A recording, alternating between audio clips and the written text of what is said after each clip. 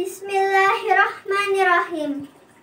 Assalamualaikum warahmatullahi wabarakatuh. Alhamdulillahirabbil alamin.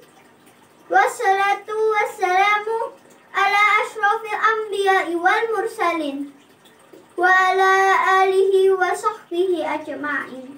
Amma ba'du. Yang saya hormati Ustadz, Ustadzah, serta teman-teman soleh-soleha yang dirahmati Allah Subhanahu wa taala. Marilah kita panjatkan puji syukur kepada Allah Subhanahu wa taala yang telah memberikan hebat iman, Islam, dan sehat walafiat. Sehingga kita bisa berkumpul di tempat yang mulia ini tanpa halangan suatu apa pun. Teman-temanku soleh soleha yang dirahmati Allah Subhanahu wa taala, bulan Ramadan adalah bulan yang paling dinanti oleh seluruh umat Islam di berbagai belahan dunia, termasuk kita. Di bulan Ramadan, kita umat muslim berlomba-lomba untuk apa? Pertama, untuk memperbanyak amal ibadah. Karena merupakan bulan penuh kesabaran, bulan penuh rahmat, bulan pembebasan dari api neraka, bulan sedekah. Segala kegiatan ibadah yang kita lakukan di bulan Ramadan pahalanya akan dilipat gandakan oleh Allah Subhanahu wa taala. Masya Allah.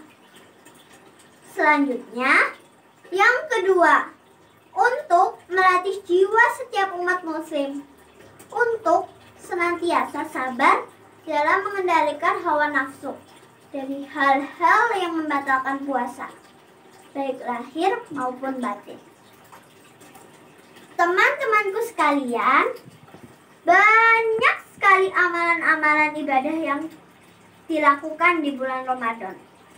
Salah satunya adalah menjalankan ibadah puasa. Sebagaimana diketahui bahwa puasa di bulan Ramadan adalah rukun Islam dan wajib bagi setiap umat muslim.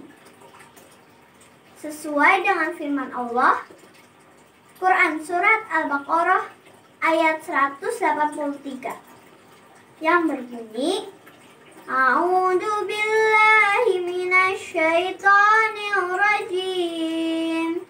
Bismillahirrahmanirrahim. Ya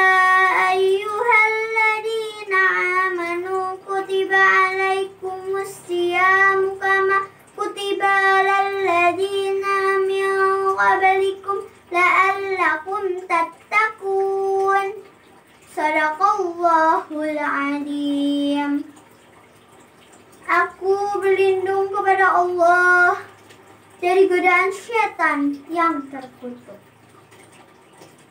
Dengan nama Allah yang maha pengasih lagi maha penyayang. Wahai orang-orang yang beriman, diwajibkan atas kamu berpuasa sebagaimana diwajibkan atas orang-orang sebelum kamu agar kamu bertakwa. Maha benar Allah dengan segala firman-Nya.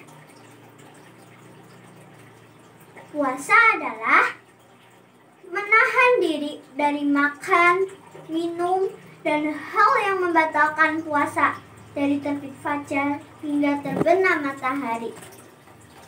Teman-temanku sekalian, yang soleh soleha yang dirahmati Allah Subhanahu wa taala.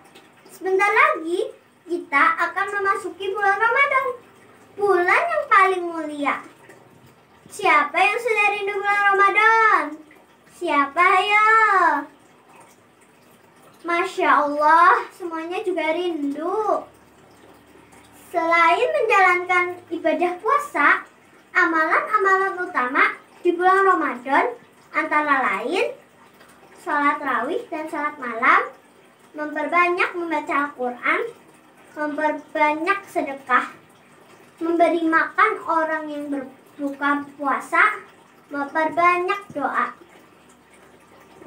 Maka dari itu, kita semua semoga dapat melaksanakan amalan-amalan utama di bulan Ramadan tahun ini. Semoga semua doa kita dan seluruh umat muslim dijabah oleh Allah Subhanahu wa taala. Amin, amin ya robbal alamin. Burung irian, burung cendrawasih. Cukup sekian dan terima kasih. Apabila ada kata-kata saya yang salah, mohon dimaafkan. Akhirul kalam, wassalamualaikum warahmatullahi wabarakatuh.